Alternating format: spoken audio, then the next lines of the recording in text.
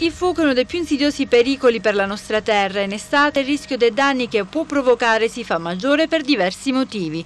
Un incendio su quattro è provocato volontariamente, ogni tre è causato dalla sottovalutazione dei pericoli di chi accende un fuoco per ripulire il terreno dalle serpaglie, vegetazione secca o per distruggere i resti delle potature. A volte ad alimentare fuochi è il vento ed è così che la situazione si può trasformare in una tragedia. Dalla protezione civile di Agrigento arrivano alcuni consigli per evitare che piccoli piccole disattenzioni possano scatenare gravi eventi. Quello che noi come protezione civile comunale vogliamo dire è che è obbligo dei proprietari dei terreni privati e non solo privati eh, l'obbligo è quello di tenere puliti i terreni, quindi puliti da sterpaglie, puliti anche da, da spazzatura o quant'altro, cioè di tutti quei, quei, mezzi che possono risultare pericolosi perché incendiandosi ovviamente eh, creano seri problemi. Coloro che eh, lavorano in campagna sappiano che non è possibile in maniera indiscriminata, incontrollata accendere fuochi a qualsiasi ora del giorno, anche quando spira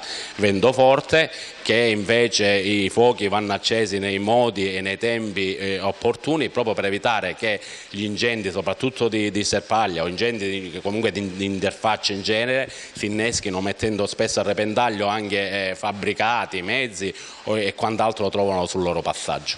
Dunque basterà seguire questi piccoli accorgimenti per diminuire il verificarsi di eventi incendiari.